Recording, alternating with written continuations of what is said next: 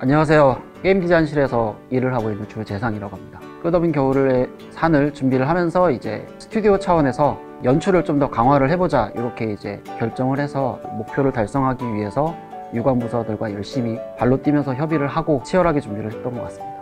안녕하세요. 저 게임 디자인실에서 의뢰 파트를 맡고 있는 천유리라고 합니다.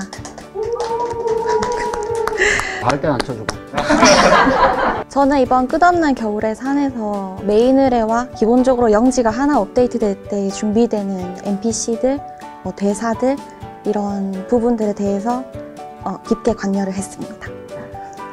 안녕하세요. 검은사막 프로그램실에서 개발을 맡고 있는 박광훈입니다. 이번에 끝없는 겨울의 산이 들어가면서 기존에 있는 컷신들을 강화하기 위해서 기존 라이브에 있던 기능들을 컷신 툴로 다양한 파트에서 제작할 수 있게 개발을 맡았습니다. 안녕하세요. 검은사막 프로그램실에서 개발을 맡고 있는 이종건이라고 합니다. 저도 이제 광우님을 이제 보조하면서 높은 퀄리티의 컷신을 이 작업자분들이 어떻게 하면 좀 더 편하게 빨리 만들 수 있을까라는 고민을 하면서 이제 컷신 제작 툴의 개발을 좀 많이 했던 것 같습니다. 장난 아니었죠. 네.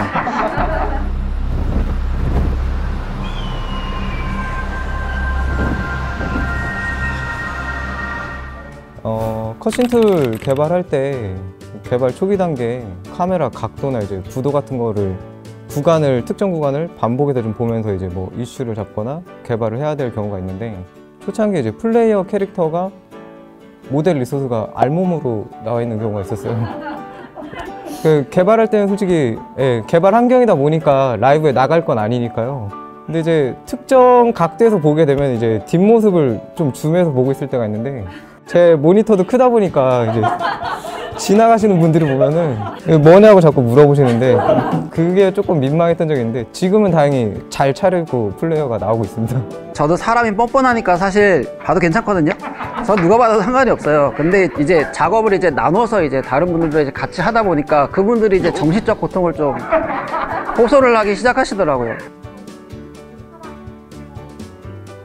아 용사 그건 그건 이분이 조, 조금 어이가 어이가 없긴 했는데 네 갑자기 동호회 동 네 저는 이제 용 박물관이 있으니까 아, 용 좋아하는 사람들 많이 모이겠지 싶어서 그냥 그냥 그냥 그렇게 나왔어요. 용사랑이란 말은 쉽게 말씀드리자면 용의 오가들이란 뜻이지. 좀 더 웃긴 이름으로 바꿔볼까 했는데 아무리 생각을 해도 용사랑을 넘어서는 게 없더라고요.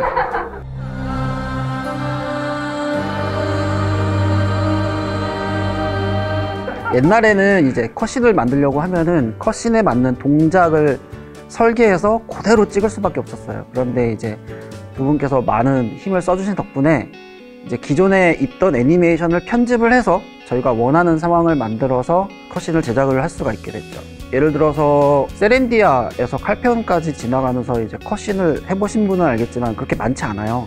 근데 그것도 되게 오래 걸려서 만든 것들이거든요. 근데 이번에 끝없는 겨울의 산이 나가면서 저희가 컷신을 거의 한 30개 넘게 제작을 했는데 이전과 비교해서 생산성이 정말 말, 말도 안 되게 좋아지게 됐죠.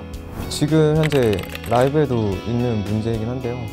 그 컷신 보시다 보면은 이제 자막이랑 입모양 싱크가 좀 안 맞고 있는 부분이 있는데 자막에 시작되는 어떤 프레임과 입모양이 움직이는 애니메이션 시간이 오차가 어디서 생기는지 그런 점을 좀 찾아서 저희가 수정을 봐야 될 것 같아요. 몰입감이 좀 떨어지는 부분에서는 제가 좀 사과의 말씀을 드리고 싶습니다. 힘들었다 힘들었죠? 힘들었는데 이제 지금은 아마 수정이 돼서 라이브에 반영이 되어 있는 걸로 아는데 컷신 안에 내 캐릭터가 나오는데 내 캐릭터가 굳어서 이동을 하는 경우가 있었거든요. 그 부분을 찾는 데 한 2, 3일이 걸렸거든요. 그 부분이 살짝 너무 아쉽지 않았나.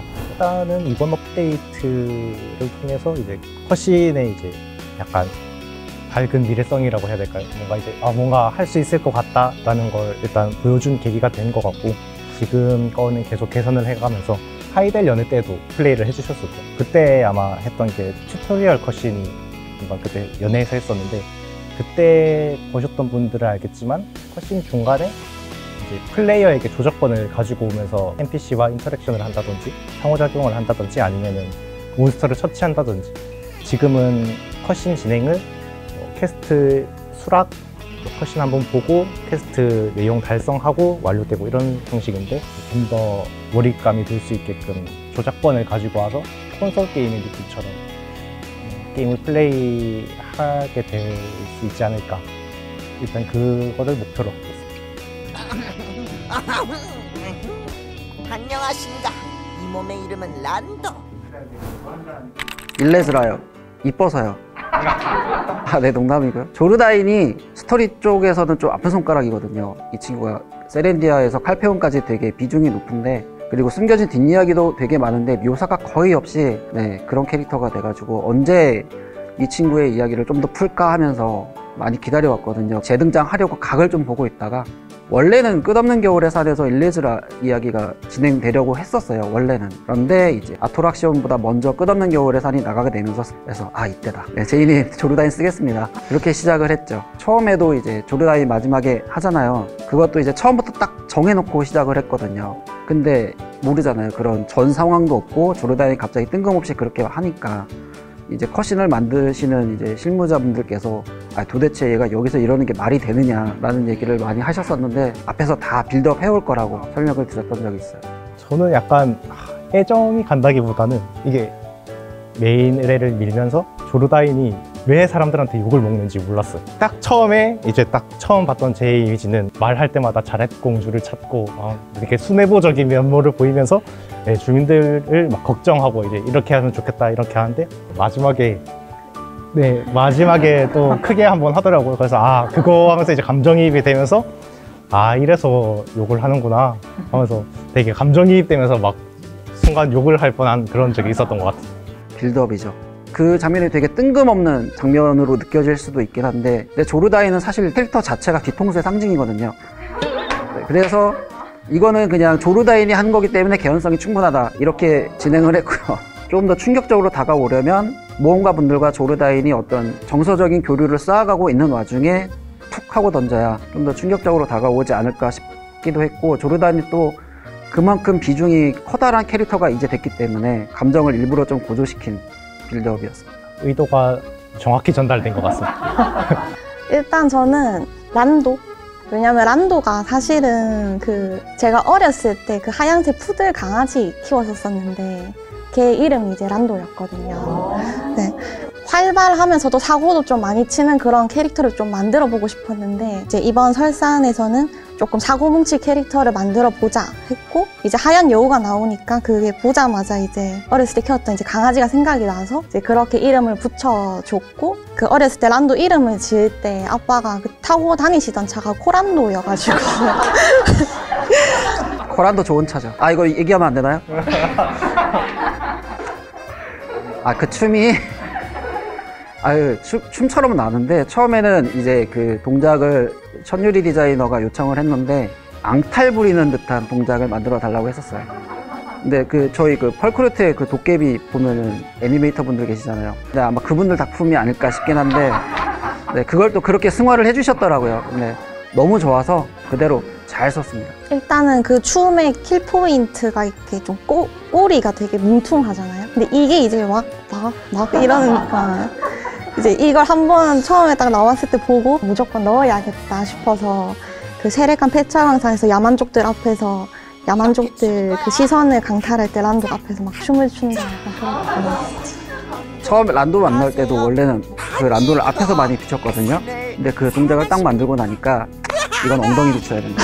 맞아 맞아 맞아 아, 플로키 같은 경우에는 지금 게임 상황 속에서 보면 이제 모두 다 몬스터로 이제 변했고 이제 딱 세 명밖에 안 남았어요. 원래는 이제 옥진시니들이 죽으면은 이제 근원의 불꽃으로 돌아가서 다시 환생한다는 설이 있는데 플로키는 조금 다르게 잡고 싶었어요. 왜냐면 항상 그런 종족들이 있으면 항상 뭐 그런 걸 되게 잘 따르고 하니까는 플로키는 근데 이제 나는 죽기 싫어서 나는 이기적이게 안 죽을 거야 이러면서 약간 그런 캐릭터를 좀 하다 보니까 고약한 목소리도 좀 내면서 술도 막 되게 좋아하고 그러다 보니 그런 캐릭터가 만들어졌어요.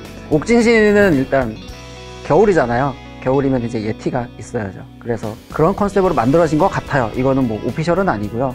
이마에 도깨비불 같은 게 있는 거예요. 그리고 이제 무로웨이크의 미군 같은 경우에는 처음에는 모델링 팀 이제 실장님이 괴물들이 끝도 없이 쏟아져 나오는 그런 한번 사냥터를 만들어 보자 이렇게 제안을 주셔가지고 처음에는 개미 형태로 디자인이 됐었거든요.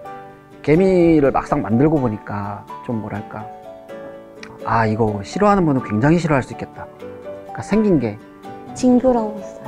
그쵸 그쵸 그쵸 저도 이제 개미 못 만지거든요 그래가지고 지금처럼 이제 좀 그나마 좀 둥글둥글하고 쪼물쪼물 거리는 친구로 좀 바뀌었죠 어두운 곳에서 보니까 그렇게 좀 잘 안 보이실 수 있는데 얘를 이제 완전히 밝은 데로 끄집어내 가지고 이렇게 움직이는 것만 보면은 은근히 귀엽긴 해요 네.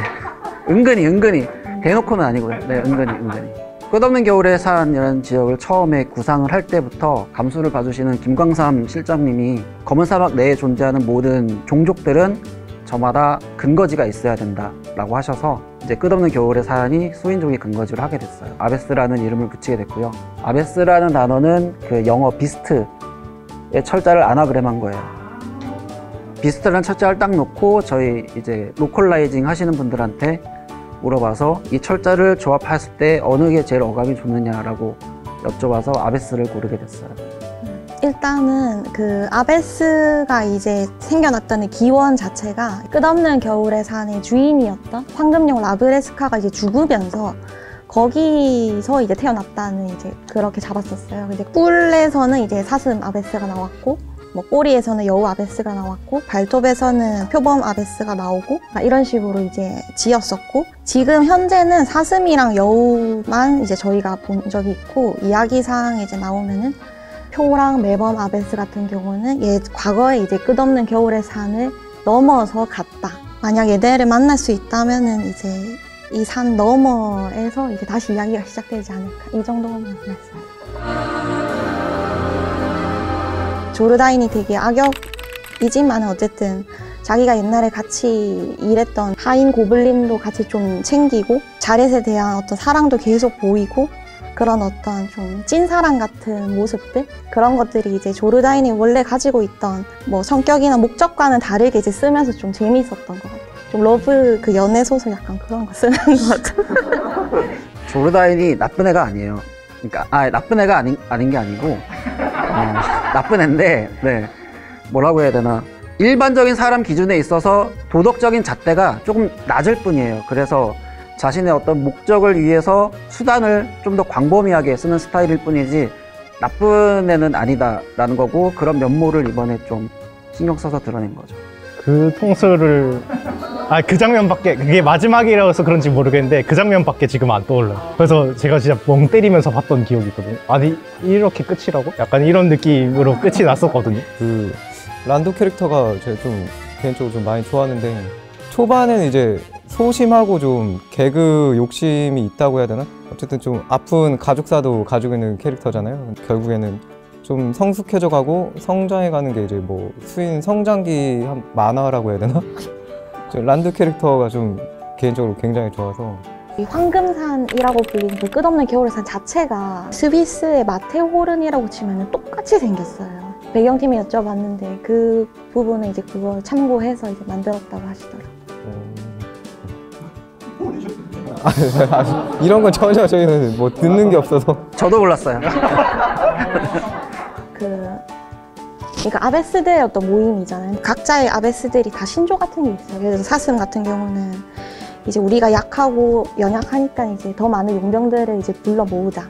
아베스가 약간 얘네 종족뿐만 아니라 많은 대륙에 있는 다양한 사람들과 이렇게 친목을 쌓아서 이 사람들을 좀 데려와서 좀 가치 있는 어떤 사회, 어떤 그런 작은 마을, 약간 그런 식으로 이제 만들어서. 수인족이 겨울산에서 처음 나타난 종족은 아니잖아요. 그래서 이제 기존 대륙에 많이 퍼뜨려져 있는데 고향이 여기일 뿐이다 해서 구체적인 컨셉은 좀 몽골 유목민 속성을 좀 섞었어요. 또 우두머리 이름을 칸이라고 지은 것도 그런 이유였어요. 꽤 재미있는. 말해도 되나요? 저 여우의 정체는 저희 다음에 공개하는 걸로 세상에 여자가 일레즈를 하나만 있는 것도 아니고. 일레즈가 아니고. 어 이게 진짜 스포예요. 그거를 얘기하면. 네. 네, 네. 네네네. 아니, 넣으셔도 되는데 대답은 해드릴 수 없습니다. 네, 네 조르다인보다 이게 더큰. 네.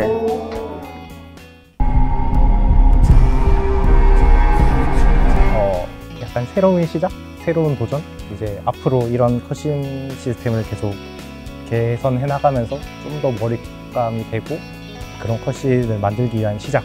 앞으로 이런 것들을 이용해서 검은 사막의 스토리들을 좀 더 재밌게 접할 수 있도록 노력하겠습니다. 마법이죠, 마법. 네.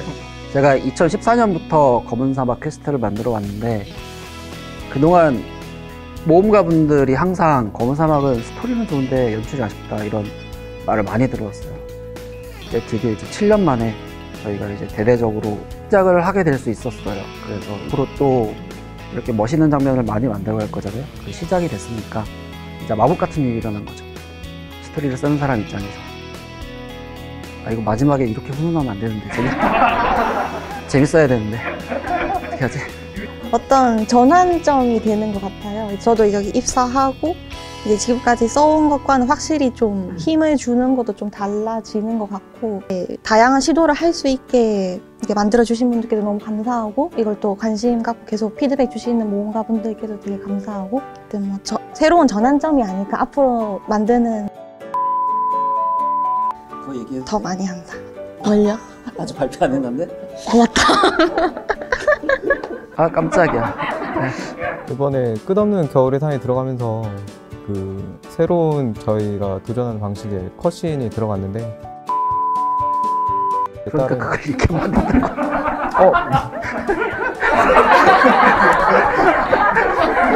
네, 앞으로 더 그 아까 종건님이 말씀해주신 좋은 기능들도 더 들어가면은 더좀 더 몰입감 있게 직접 컷신 안에서도 직접 플레이할 수 있는 그런 컷신 좀 열심히 개발할 수 있도록 열심히 노력하겠습니다. 저희 끝없는 겨울의 산을 재미있게 즐겨주신 분들도 재미없게 즐기신 분들도 정말 감사합니다. 다음에는 더 많은 분들이 재미있게 즐기실 수 있도록 또 큰 거 준비하고 있으니까요. 네, 계속해서 관심 갖고 지켜봐 주세요. 감사합니다.